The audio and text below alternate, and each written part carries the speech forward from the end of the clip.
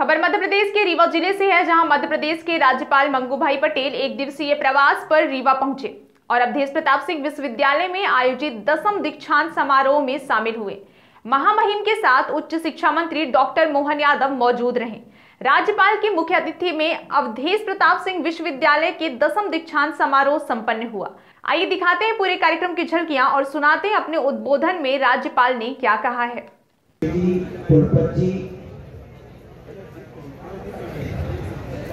कुलपति कार्यक्रम का शुभारंभ हो रहा है। मैं विश्वविद्यालय की छात्राओं को पुलगीत और सरस्वती वंदना के लिए आमंत्रित करता हूँ।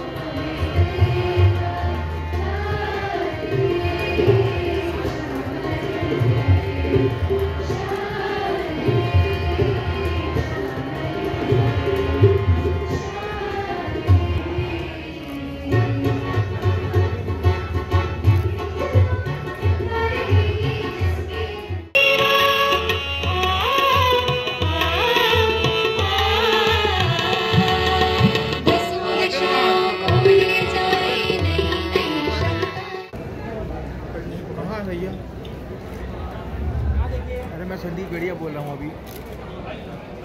अरे संदीप पत्रकार जो हमारे सुचरित हैं उन्हें ग्रहण करना चाहिए दूसरे नहीं। यह आदेश है यह उपदेश है यह अनुशासन है। ऐसा ही आचरण करना चाहिए।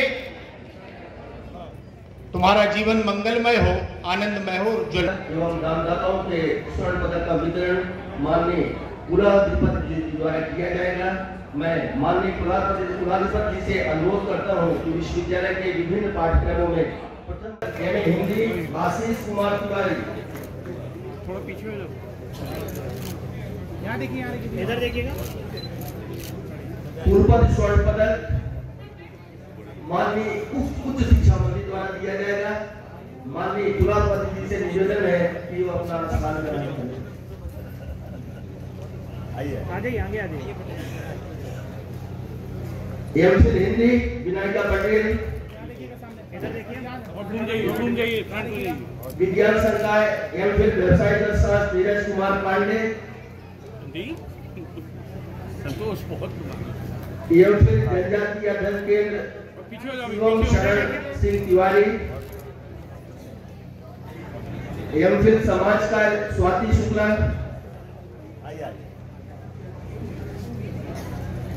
एवं फिर प्राचीन भारतीय इतिहास, राकेश कुमार,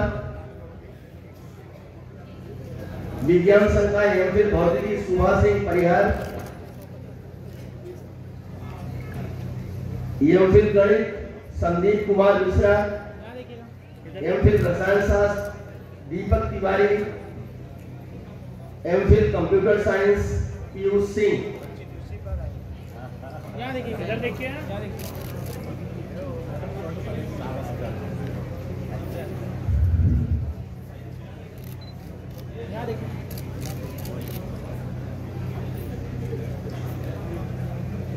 जीव विज्ञान संकाय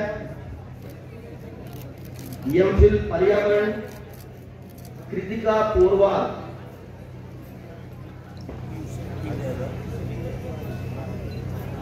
यानी कि पीछे यानी कि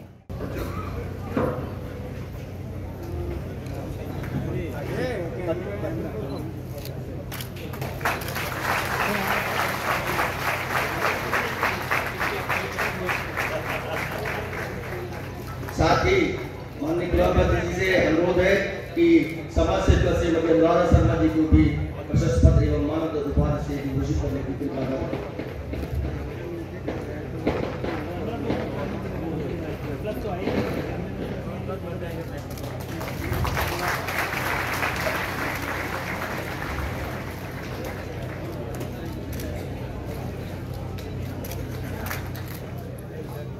इधर देखिए। ओके।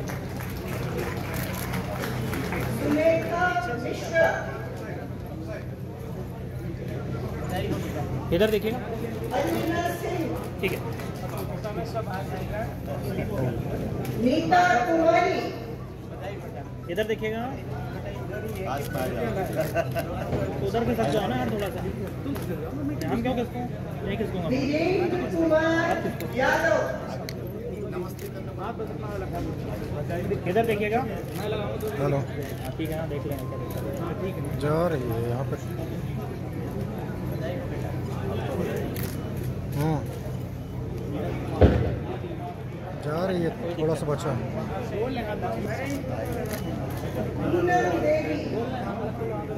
चल रहा अभी तक। ज़्यादा नहीं हो पाएगा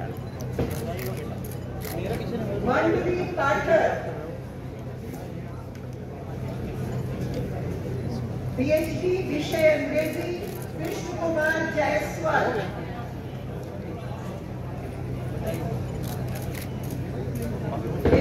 विषय हिंदी विनायका पटेल। इधर देखिए। वर्षा तिवारी। सामने देखिए। स्नातकोत्तर उपाधि विषय एमए हिंदी। पारो द्विवेदी इधर देखिए। आशीष कुमार तिवारी। इधर देखिएगा सामने। इतना आवाज़ कैसे चलेगी? कोई भारत माता की वंदे वंदे अवधेश सिंह विश्वविद्यालय के दसवां दीक्षांत समारोह में अपने बीच उपस्थित अरे कैमरा वो आ रहा है यार तुम्हारा ये ऊपर चल जाओ ना। सरकार के उच्च शिक्षा मंत्री श्री मोहन यादव जी परम पूज्य डॉक्टर स्वामी श्री परमा परमात्मानंद जी वाइस एडमिरल दिनेश कुमार त्रिपाठी जी कुमार आचार्य जी श्रीमती अनुराधा शर्मा जी कुल सचिव डॉक्टर सुरेंद्र सिंह जी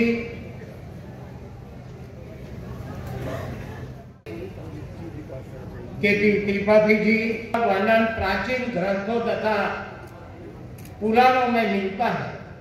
ऐसी पुण्य प्रतापी भूमि पर स्थित अवधेश प्रताप सिंह विश्वविद्यालय के दसवें दीक्षांत समारोह में उपस्थित सभी का बहुत बहुत मैं स्वागत करता हूँ।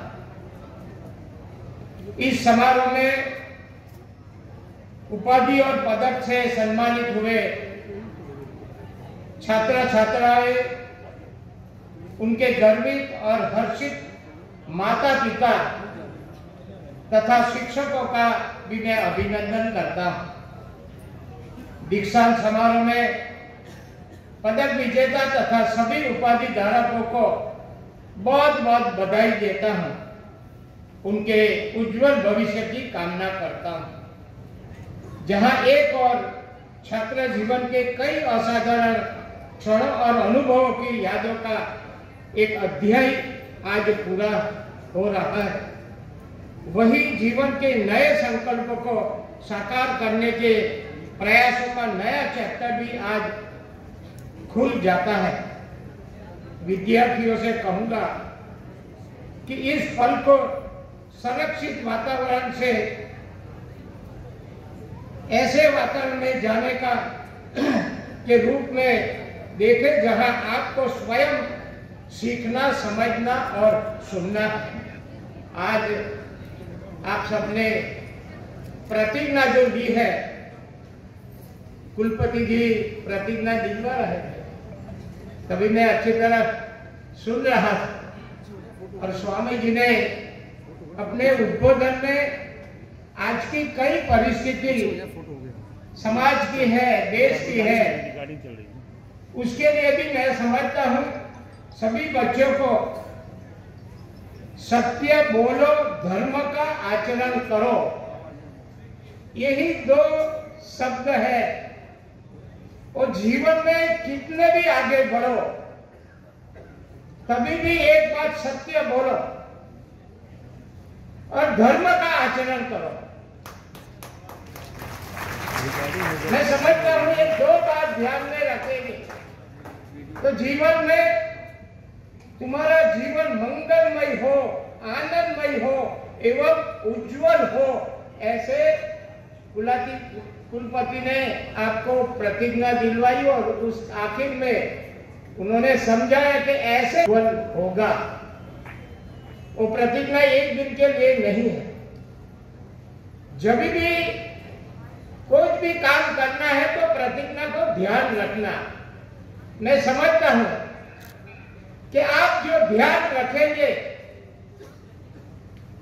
कोई भी काम अपने पास आए, उसमें समझना मेरे को एक हमारी धर्म नीति है, वो क्या कहती है? उसी तरह हमको काम करना है तो मैं समझता हूँ, जीवन में आप बहुत आगे बढ़ेंगे। कभी कभी मैं देखता हूँ, समाज की अवस्था की बात हुई है माता पिता ने अपने को कितनी दिक्कतें आई तो भी आपको पढ़ाया। घर में पैसा नहीं है तो भी कहाँ से